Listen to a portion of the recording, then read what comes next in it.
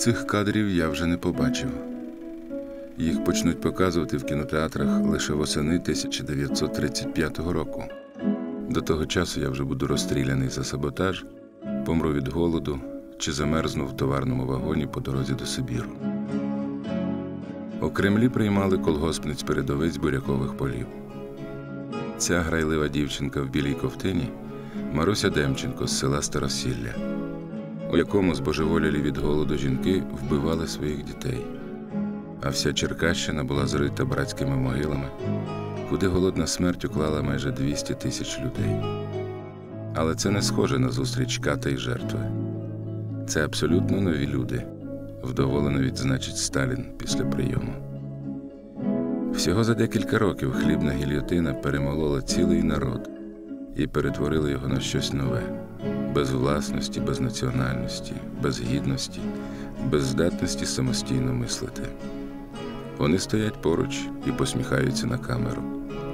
Він великий вождь, який її створив, і вона, яка все життя буде намагатися не згадувати, як це було.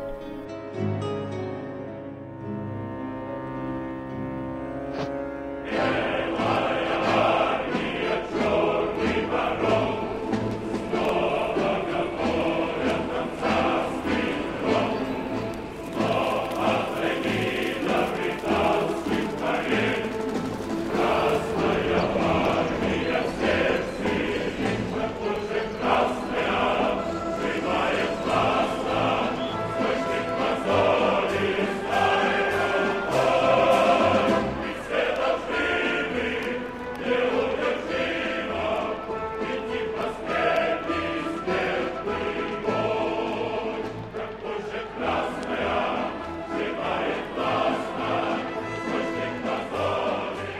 Восени 1929 року у моєму повіті, як і по всій країні рад, урочисто відзначали чергову річницю Великого жовтня.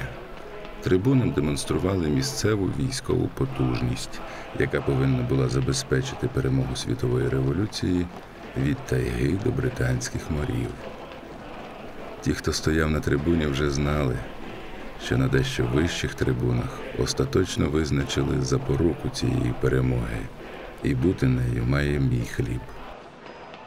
Він потрібен, аби годувати величезну Червону армію, а ще нестримно зростаючу армію тих, хто будував гіганти військової індустрії, і партію, яка цими арміями керувала.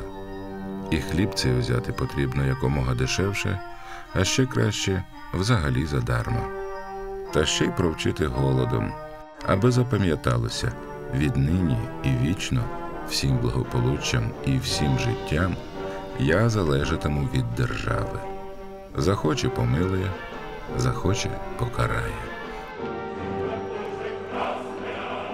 А я крокував у колоні демонстрантів і скандував цій державі вітальні гасла, не підозрюючи, що багато з тих, хто йде поруч, вже приречені на жахливу голодну смерть, що вже розроблена операція, яку з часом назвуть Великий Перелом, що буде це справжня військова операція, а країна стоїть на порозі нечуваної громадянської війни, тих, хто їсть, проти тих, хто годує.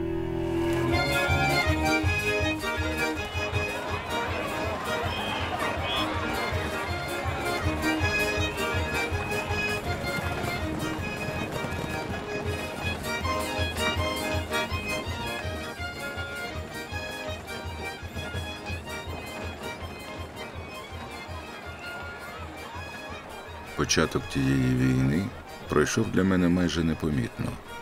У січні 30-го мені зачитали постанову про темпи колективізації і закликали до її ударного прискорення. Односельці вели до спільного хліва свою худобу, стягували нехитрий хліборобський інвентар. Я грав на розладнаній скрипці інтернаціонал і ще не відчував нового зловісного звучання у знайомих словах весь мир голодних і рабов. Потім ми об'єднували наділи, спільно працювали, а споживкооперація привозила колгоспні обіди прямо на поле. Попри важку працю, сил вистачало ще й на танці перед кінокамерою.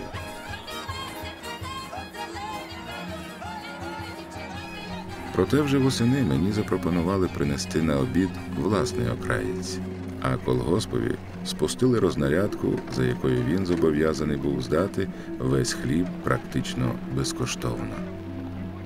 Коли ми відмовлялися віддавати добровільно, зерно забирали силоміць і вивозили на елеватори під дивним гаслом. В разі потреби здамо останній. Незважаючи на те, що два попередні роки були урожайні, в країні несподівано вводиться карткова система. Причому розподілом займається вже не кооперація, а партійні чиновники. Та й картки видавалися не всім. З цієї системи виключили громадян, позбавлених політичних прав, і, ви не повірите, нас, нас, селян, що становили більше 70% населення країни, перерівняли до позбавленців і прирекли на голод. І тоді, захищаючись, я застосував свою єдину зброю хліб. Я перестав його сіяти. Поля заростають бур'яном, доповідали очільнику українських більшовиків Станіславу Косіору. Бригади розпалися, обліку жодного не ведеться, адже господаря немає, все тепер колгоспне. Але влада не повірила. Вона щиро вважала, що хліб є, що я його просто заховав, швидше за все закопав, як у часи громадянської війни. Тепер його потрібно знайти. І на пошуки казкового підземного хлібного царства більшовики підняли всю країну.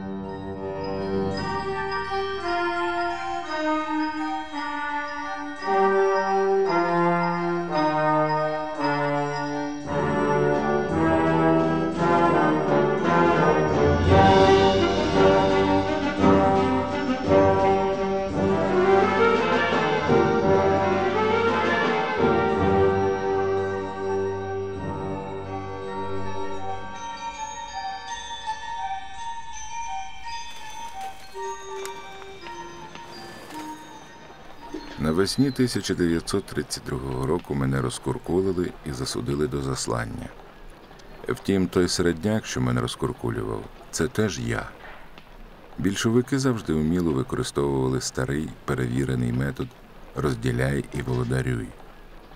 Через декілька місяців двері хатин середняків будуть вибиті чобітьми комнезамівців, але цього вже ніхто знімати не буде. Все, що ви надалі побачите на екрані, було знято або до, або після тієї трагічної війни з хліборобами. Цю плівку можна сприймати тільки як заглянцьовану атмосферу часу, головні події якого залишалися поза екраном у засекречених довідках, донесеннях і звітах. За неписаною традицією того часу комітети незаможників складали списки на розкуркулення ночами. Комнезамівці ніколи не вміли та й не хотіли працювати, але саме їм доручили вибити з мене хліб, і робили вони це в буквальному сенсі. Мене вивели зі зборів, почали бити і розбили голову. Іншому селянинові повибивали зуби. Можна прочитати в одній із десятків тисяч скарг. Та ще знущалися, лаяли матом, погрожували вивезти за село, облити гасом і підпалити. Поява мародерів і бандитів характерна для будь-якої війни. Але лише більшовики вперше в історії людства оголосили кримінальних злочинців соціально близьким елементом. І лише більшовики зуміли вирішити складну юридичну проблему як покарати людину, яка краде сама в себе власний хліб, вирощений своїми руками і на своїй землі.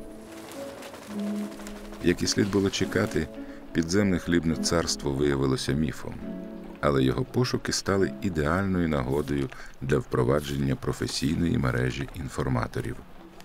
На довгі роки мій народ виявився під пильним внутрішнім наглядом.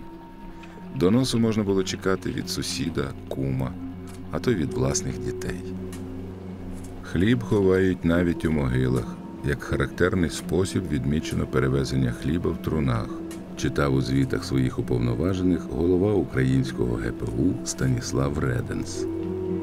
Але в труні можна заховати 40 від сили 70 кілограмів зерна.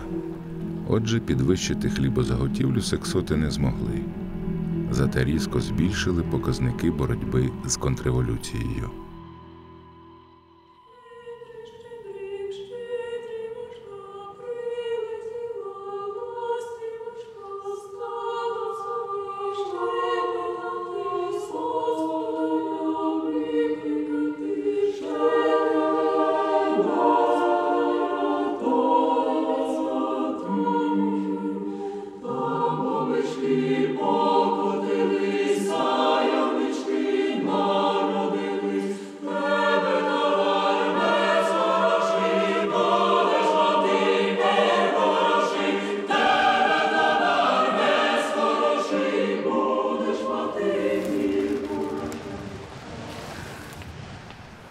Сьомого серпня 1932 року я прочитав у газеті сумно відомий закон, що залишився в людській пам'яті як указ 7.8 або постанова про п'ять колосків. Розкрадання колгоспного майна карається розстрілом, гласив закон, а за пом'якшувальних обставин позбавленням волі не менш ніж на 10 років. Розстріл в указі іменувався вищою мірою соціального захисту соціалістичної власності. А до цієї власності він відносив мою землю, мій старий плуг і моїх корову або лоша, яких я власноручно відвів у колгосп. Лише за перший рік дії цього закону у папки з грифом ГПУ РСР було підшито близько 300 тисяч вироків, з них 15 тисяч до вищої міри. Ще 800 тисяч людей було депортовано. Втім, заслання було шансом вижити, і селяни самі рвалися у спецтабори всіляких індустріальних будов соціалізму, аби виїхати з голодних регіонів. Число нахлібників росло, а кількість годувальників фатально скорочувалась. І спеціальний емісар ЦК ВКПБ з боротьби з хлібним саботажем в Україні Лазар Каганович одержує листи з Москви. Декілька десятків тисяч українських селян, обурено писав Сталін, роз'їжджають по всій європейській частині СРСР і розвалюють нам колгоспи своїми скаргами і скигленням. Наслідки цього гнівного послання я дуже скоро відчув на собі. Численні кордони загонів ГПУ і міліції перекрили всі дороги, навіть залізничні колії. Починалася продовольча блокада України.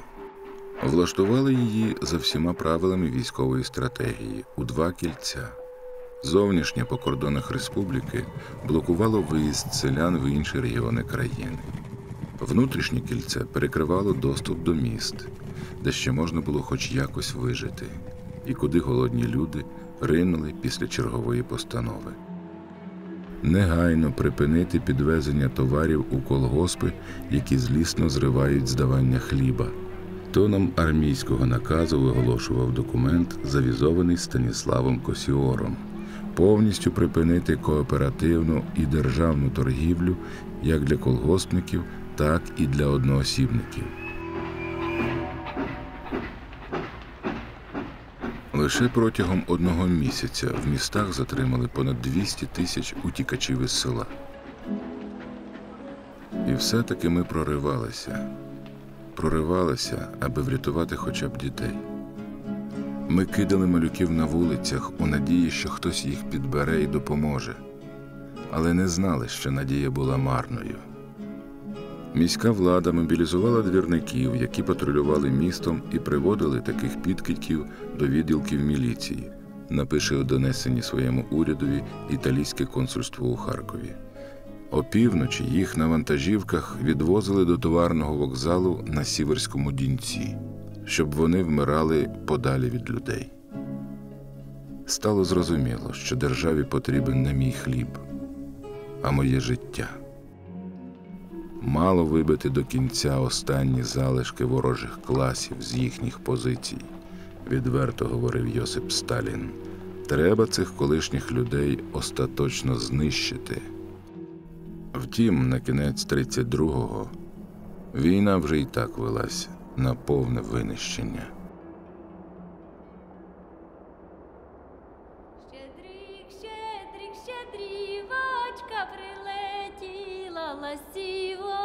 Прилетіла, ластівочка.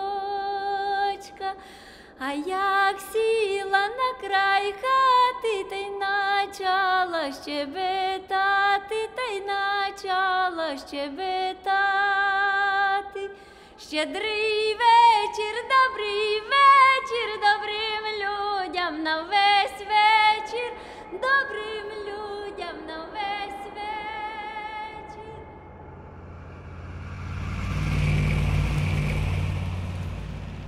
17 листопада 1932 року мені остаточно винесли смертний вирок.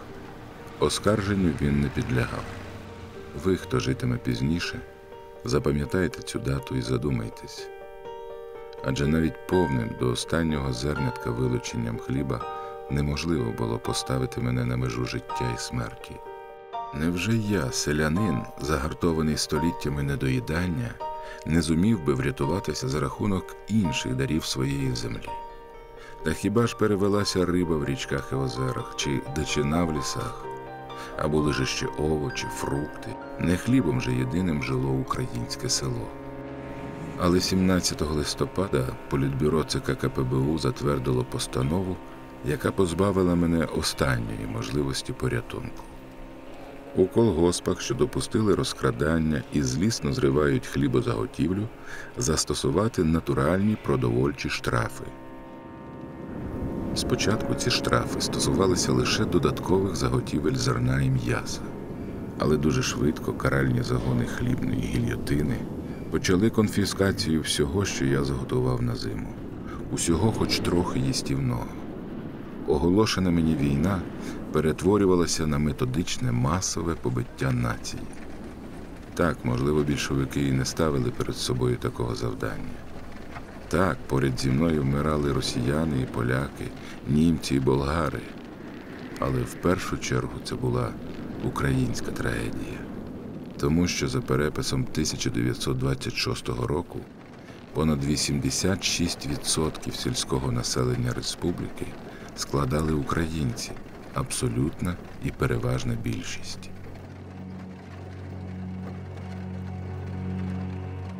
Те, що відбувається винищення України, розуміли навіть вищі партійні керівники.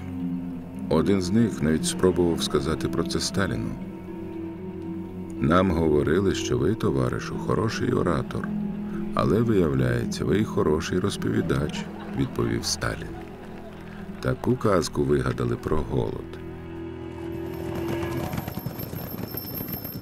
Розмова ця відбулася напередодні Різдва, свята, яке завжди наповнювало українські села дитячими колядками і веселим гамором розваг. Чи міг я подумати, що під Різдво 33-го в ті самі села буде спущено секретну директиву? Категорично заборонити будь-які організації, крім органів ОГПУ, вести реєстрацію випадків опухання і смерті від голоду. Саме тоді у папках ГПУ почали з'являтися документи, які не здатні сприймати людський розум. Поки мати ходила шукати їжу, діти почали гризти труп померлої дитини, доповідали інформатори. У сусідньому селі одноосібник намагався вбити себе і двох дітей. Коли діти почали кричати, задушив їх і заявив про вбивство до сільради. Цілком можливо, що в цьому ж селі кінохроніка знімала й голодну трагедію початку 20-х, але час не владний над жахливим образом смерті. І тому ці кадри 22-го можуть не менш правдиво розповісти і про те, як я вмирав у 33-му.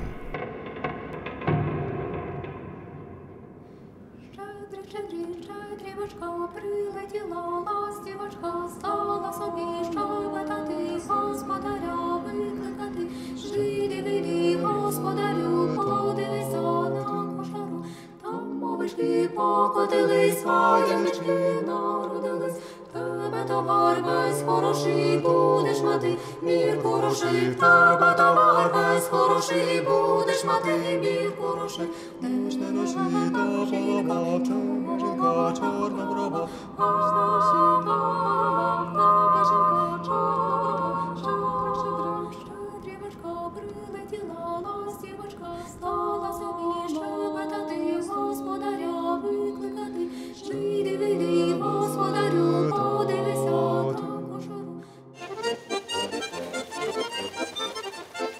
Восени 1933 року в мою спорожнілу хатину в'їжджав новий господар.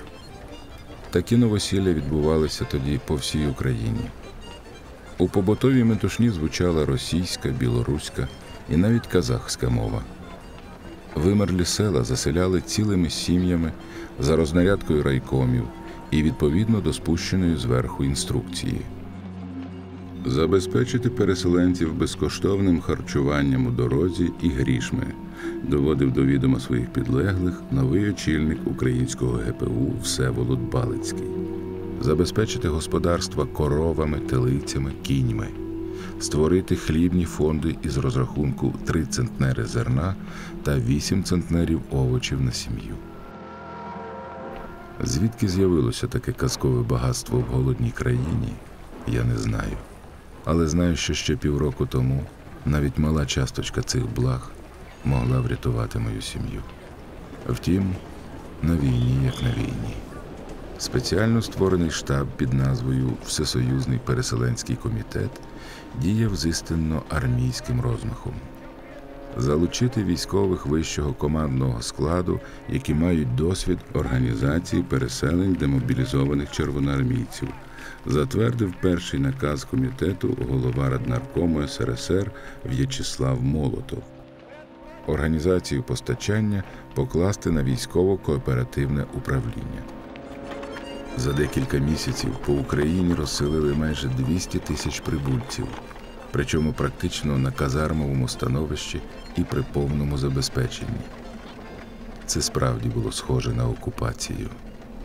Завершувалася остання стадія операції Великий перелом освоєння підкорених територій.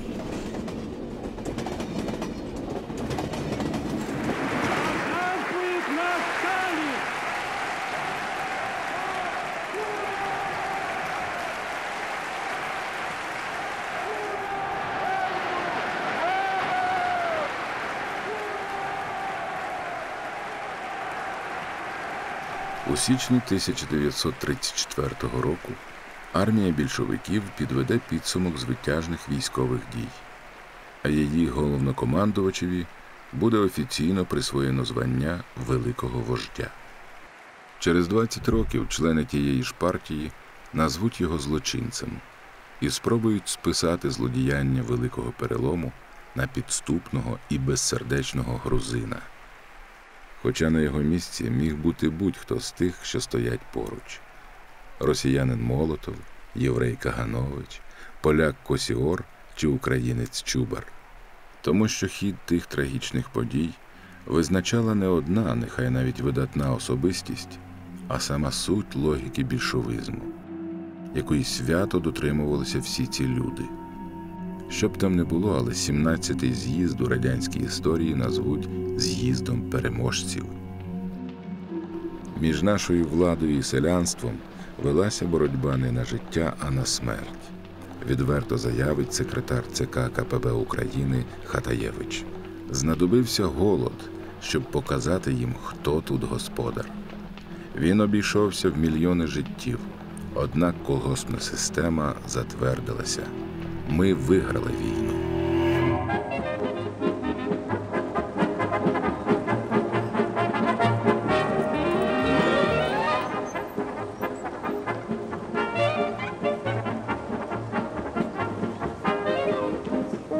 В Україні почалися дивні зміни. Вже восени було скасовано карткову систему на хліб і хлібопродукти. І це при тому, що на Україні зібрали всього 10 мільйонів тонн зерна. Майже на третину менше, ніж у найстрашнішому голодному 32-му. Залякані селяни дякували вождеві за дивовижний порятунок. Хоча диво пояснювалося просто. Держава всього лише наполовину скоротила експорт зерна за кордон. Війну було переможно закінчено, і хлібну гільйотину можна було на якийсь час зачохлити. Зворушені вчорашні жертви піднесли своєму катові в дарунок снайперську рушницю. І вождь тут таки перевірив точність прицілу на охопленому бурхливими аплодисментами залі.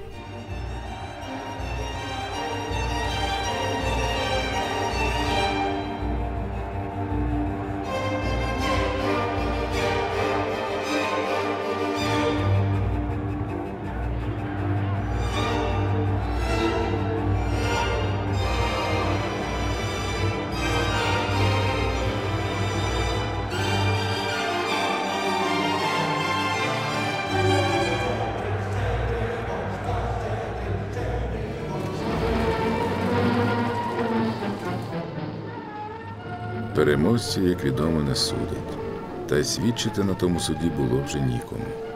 Сотні тисяч моїх співвітчизників були розсіяні по переселенських таборах Сибіру, Казахстану і Далекого Сходу, а понад 5 мільйонів назавжди лишилися лежати в українській землі. У тій самій землі, яку в них відібрали, а тепер урочисто передавали тим, хто зумів вижити у довічне, але виключно колективне користування. За іронією долі, перший такий акт було видано колгоспу імені Комінтерну села Старосілля на Черкащині. Села, звідки приїхала на зустріч зі Сталіним ударниця Маруся Демченко. Я не знаю, чи згадувала вона в той момент про мене і про сотні убитих односельців. Боюся, що ні. Інколи мені здається, що вона й сама теж була вбита. Убита цією променистою посмішкою вождя і орденом Леніна під номером 1079. Убита, як і сотні тисяч таких же молодих юнаків і дівчат, що повірили або з часом ще повірять у необхідність жертв в ім'я майбутнього, у щастя, яке можна збудувати на крові і в зручну словесну формулу. Мета виправдовує засоби. Втім, можливо, лише зроблять вигляд, що повірять. Мертві, як відомо, сраму не ймуть.